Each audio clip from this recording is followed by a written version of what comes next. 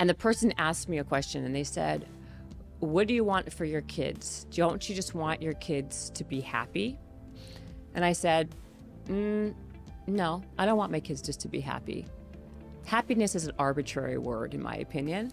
I want my kids to be productive. I want them to be productive members of society who are contributing and who um, have a sense of purpose and a sense of self.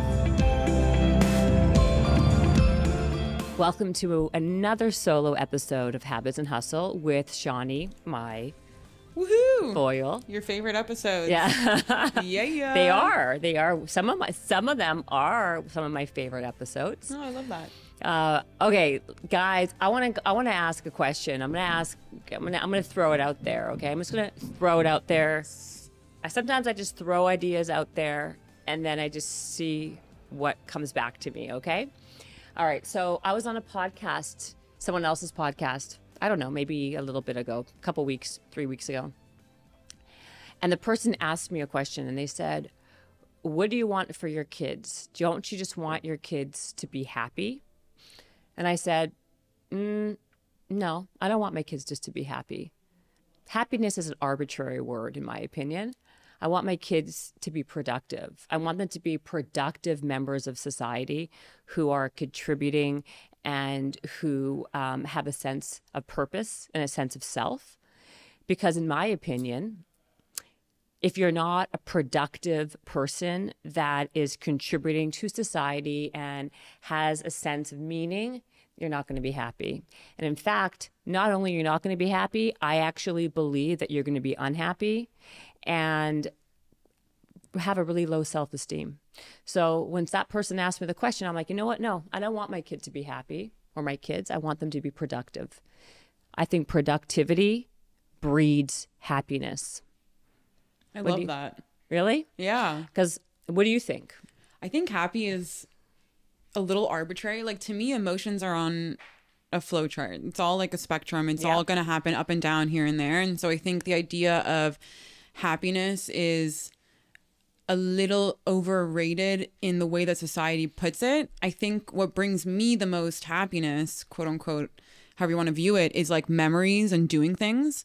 To me, those are my happiest days. And so, like, doing things with friends, spending time with friends, family, whatever, things that I really enjoy, and also like just in ways that are, um, that feel fulfilled. So it's like not my only part of life. Like, you, you- know, my right. day is is worthwhile. I don't know. I just I think that it flows. I think you got to do things that make you happy without necessarily doing them for the sole purpose of them making you happy, but just them being good things to do. Right. So That makes sense. basically, no, it doesn't. But it, it makes I, I kind of got what you said, like in the midst of all of it. But the bottom line is, So it makes a little we're sense. saying we're saying similar things. What I. I, I, I really I, I don't love the word happiness. I think happiness in general, that word is very arbitrary Yeah. because I, I wouldn't say it as a flow chart. I think it's a it's a moving target, right? Like there are always going to be times you're happier than other times, and if you're if you're just always seeking happiness with the in a very kind of in in, in a very kind of Like shallowy way. shallowy way or you just I, I hate when people say to me i just want to be happy i just want to be happy but what does that mean like what are hmm. you doing to be happy versus just going for that happiness feeling. Because it wanes. It's like willpower motivation everything else. Like not you're, you're not always motivated. You're not you don't you're not always happy. You're not always sad. You're not always depressed. Like everything is has like you know everything has kind of ebbs and flows to it. So all you can really do is do things that will help you feel that way by by kind of it's a ripple effect. And it's kind of like you get there by doing certain things again consistently and daily. And i i think when people always say well i just want my kids to be happy but okay what does that mean? Are they what are they doing to be happy? How are they how are they uh, contributing? What are they doing? How are they working? Work hard work i believe equals happiness eventually because you feel a sense of self, self efficacy, self. Uh, you know, you feel self confidence, self efficacy. I mean, there's a whole laundry list of things that really kind of help create a higher self self esteem, and part of that is having that feeling of being able to that that you're competent and capable. Yeah. Yeah. And when you're not being competent and you're not acting capable and you're not using whatever that is to work hard at whatever that thing is, what ends up happening is your self esteem takes a hit. It takes a hit over and over and over again. And the only way to build up that self esteem is to do things that prove to yourself that you are competent and that you are capable and that, you know, you are productive. It's interesting. It's this idea of like self worth, self value, and like the doing things that make you have that higher self worth will lead to sort of like the, a happier state, let's say. And there are definitely like you can be depressed and also doing really badly in life. That's a way worse depression than if you're really emotionally depressed but you're actually doing really solid in life because I feel like it counterbalances a bit. Like you can handle those emotions more because your life is in a better place.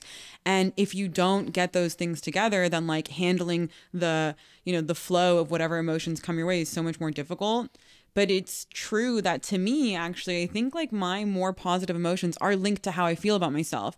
And like you're saying about the self-worth like to me what brings me the highest self-worth is when i listen to myself the most. It's like one of my mantras is i don't negotiate with myself. It stems from like a whole kobe speech that he did once at a press conference and this idea that so often like we find it hard to listen to anyone authority whatever but including ourselves which is crazy because like you should be able to listen to yourself. Of all the people in the world you should actually be able to tell yourself something and then follow through and do it in theory, like if you want to do something and you tell yourself you're going to do it, you should just be able to do it. But a lot of people can't do that. And when you can connect those dots and actually do what you tell yourself that you want to do, your self worth and value becomes so much higher. And to me, that's when I'm at my most happiest states, is when I'm in that kind of level of life. And I, I love that. I love that part. And I think that's actually exactly what you're talking about with productivity. It's like following through on the things you want to do is a very productive feeling. Well, I think following through. So I don't think of it as the same necessarily, but I but but both things get you to the same place. Yes. So following through isn't necessarily the same as being productive.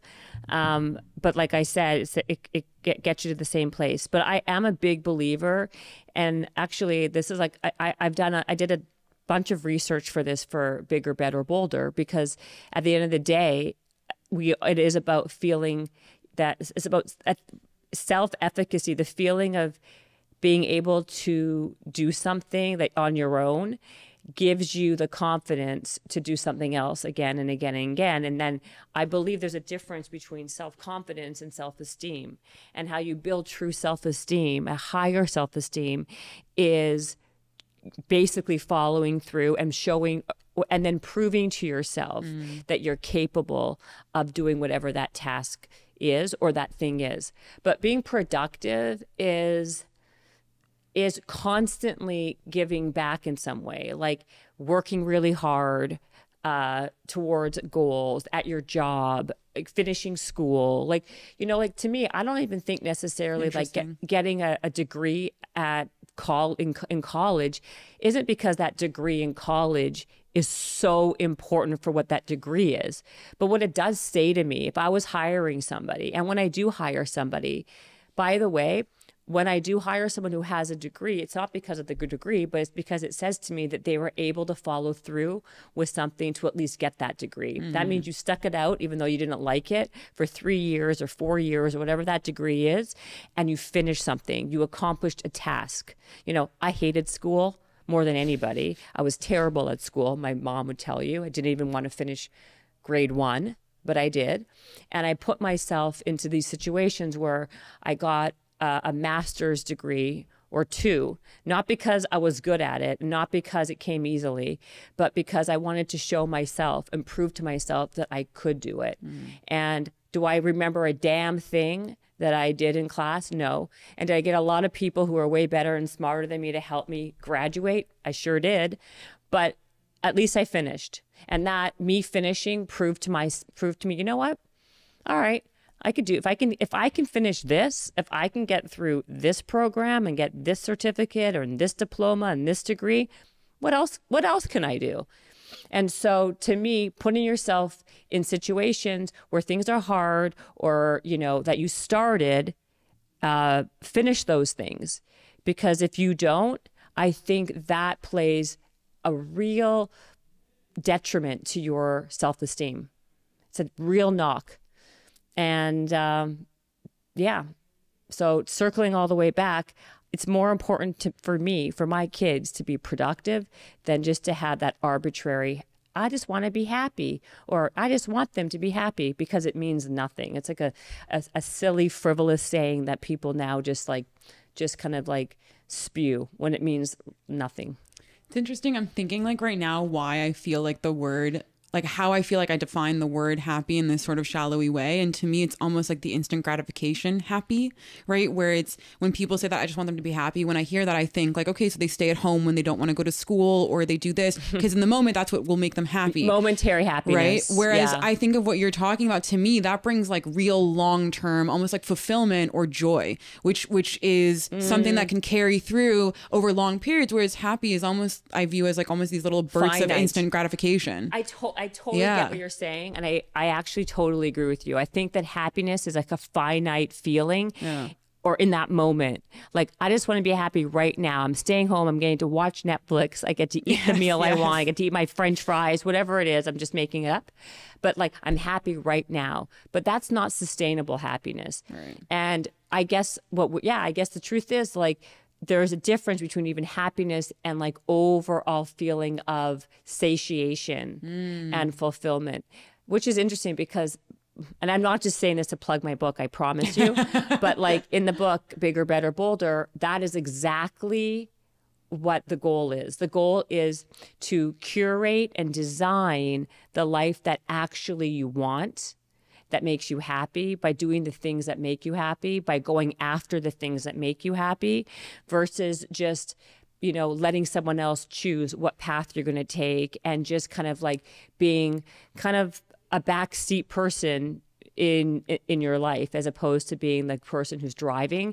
you're the backseat passenger Yeah. and um, i think that's a really important distinction when you are trying to chase that quote happiness or fulfillment fulfillment is a much bigger get than just that momentary happiness Yeah. so Ask yourself, like, are you doing this because you want to be like immediately happy now? You want the instant gratification of a little like spurt of euphoria, or are you doing this because you think it'll make you happy in the long term, Right. Fulfilled in the long term. So instant gratification versus delayed gratification. Usually the delayed gratification gets you the feeling of satisfaction over like long-term satisfaction versus instant gratification that usually gets you to a place of like unhappiness down the road, right?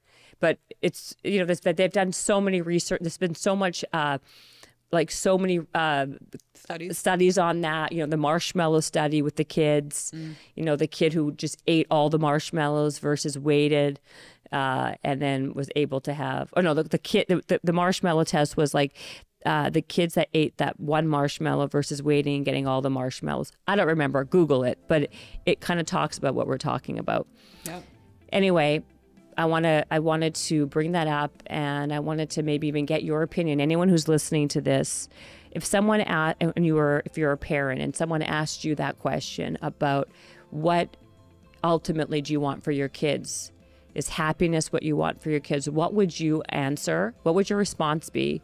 And after hearing what you know we were just talking about would you change your mind? Do you agree with it? I'm just curious to know your thoughts. Because these are all things that like in the moments you know we don't think about these things necessarily but when until we're asked the question. And so i'm asking the question. I'm asking the question to you guys. And for those of you who don't have kids what do you think? Do you think it's important to be overall what's your definition of happiness? What's your definition of being productive? And do you see why it's so important to be productive to overall be happier and fulfilled? Let me know. Bye.